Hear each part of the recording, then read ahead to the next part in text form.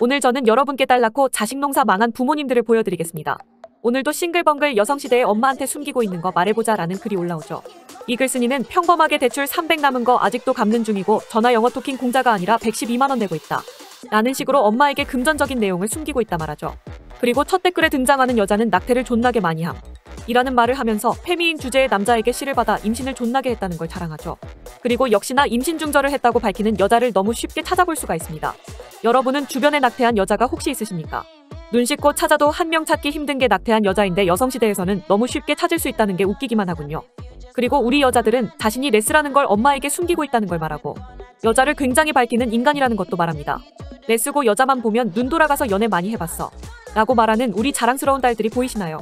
또한 그녀들은 엄마 몰래 대출 마통을 뒤지게 많이 사용했고 빚도 진짜 많고 돈도 받는 족족 쓰는데 잘 모으는 척 한다는 말을 하죠.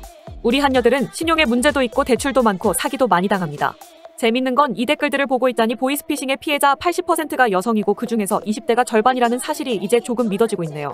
평생 한번 당하기도 힘든 사기를 당한 여자들이 이렇게 많다는 게 참 놀랍고 그렇게 똑똑한 척 남자들 보고 페미 공부하라 지랄하는 여자들이 오히려 더더욱 보이스피싱에 빠지기 쉽다는 사실. 천만 원 이상 피해를 본 20대 30대 여성은 86명인데 일반 사무직과 교사 간호사 전문직 여성이 74%라고 하죠. 이게 팩트 사실인데도 우리 페미들은 여자들은 보이스피싱 안 당해. 이런 거 보면 남자들 지능이 낮은 게 맞구나 싶어. 한국 남자 대상 협박범죄 보이스피싱은 블루오션이야. 라고 말하며 남성들이 보이스피싱 사기를 더 많이 당한다 말하지만 팩트는 어떤 건가요? 우리 여자들은 엄마도 몰래 받은 대출이 저렇게 많다고 말합니다. 그리고선 스물아홉인데 모은 돈 하나도 없다. 내 또래들은 5천 정도 모아야 한다는데 모은 거 하나도 없다. 나도 그래 나도 빚밖에 없어. 난 500만 원 모았고 나는 3년 동안 700만 원 모았어. 난 빚밖에 없어용 나는 퇴사 취업 반복하다가 빚 있어. 나는 우리 한국 여자들의 멋진 경제관념을 엿볼 수 있습니다. 엄마 몰래 뭐 하는지 말해보자라는 이 글에는 2023년 한국 여자들이 어떻게 살아가는지 정확하게 볼 수가 있죠.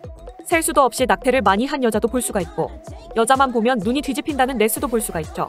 거기다가 빚이 많고 사기당하고 돈 모은 거 하나 없다는 여자 역시나 너무 쉽게 찾아볼 수가 있습니다. 여러분은 저런 여자와 결혼하고 싶지 않으시죠? 그렇다면 여자를 만날 때 여러분도 여자의 저금 상황을 확실하게 체크해야 합니다. 여자 나이가 서른이 가까워졌는데 빚 없이 현금 모아놓은 게 3천도 없다는 건 여자가 허영심 넘치고 돈 모을 줄 모르며 인생 막 산다는 증거가 될 테니 말이죠. 참고로 여자는 기본적으로 4년제 대학을 나와서 취직하면 25살 정도에 취직합니다. 군대 다녀와서 칼복학해도 28살에 취직하는 남자와는 차원이 다르게 빠른 사회 진출을 하죠. 한 달에 250만 원 번다 치고 매달 50만 원씩만 저금해도 서른이면 3천만 원입니다. 여자에게 빚 없이 3천만 원은 인간의 최소한 마지노선인 거죠. 한 달에 50도 저축 안 하는 여자와는 제발 결혼하지 말아주세요. 한심한 여자들이 넘치는 영상 여기서 마치도록 하겠습니다. 여러분의 구독과 좋아요는 은희의 커피값에 커다란 도움이 된답니다. 오늘의 한 줄 요약. 근데 니들 페미인데 왜 이렇게 남자랑 야스를 많이 하는 거냐?